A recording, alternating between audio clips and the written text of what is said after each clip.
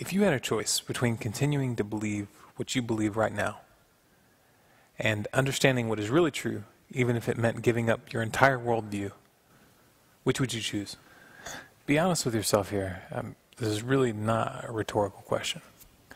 Now, it may not seem like it's an either or proposition, but I assure you that it often is. When we're faced with facts and positions that contradict our worldviews, we're left with a choice. One, we reject that new information and go on our merry way.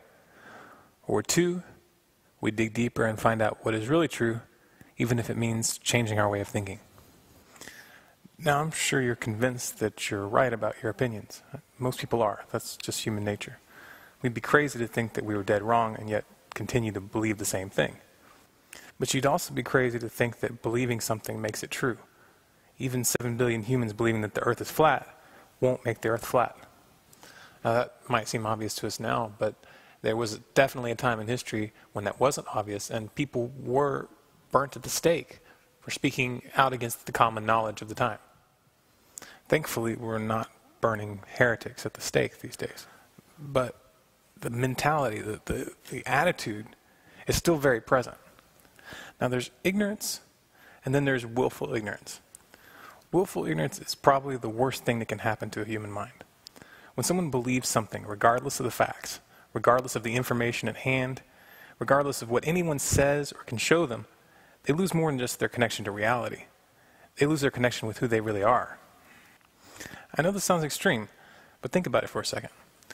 How can a person that does everything in their power to maintain a belief, even if it has no logical support and no factual basis, how can that person maintain contact with their true intellect? When you choose to believe something, no matter what, you're choosing to believe it even if it means lying to yourself. And in order to maintain that lie, you have to turn something off in your own mind, turn something off deep into your being, that part of you that says, wait a second, maybe I'm wrong. Willful ignorance is a disease, and it is rampant in this country. Now, there is a cure, but the problem is the people who have this disease don't think that they have it. If we could get rid of this one aspect of our mentality, we could turn this country around in a matter of months. However, if we don't make a significant change before the first cracks in the social order start to appear, then that, my friends, is a recipe for a new dark age.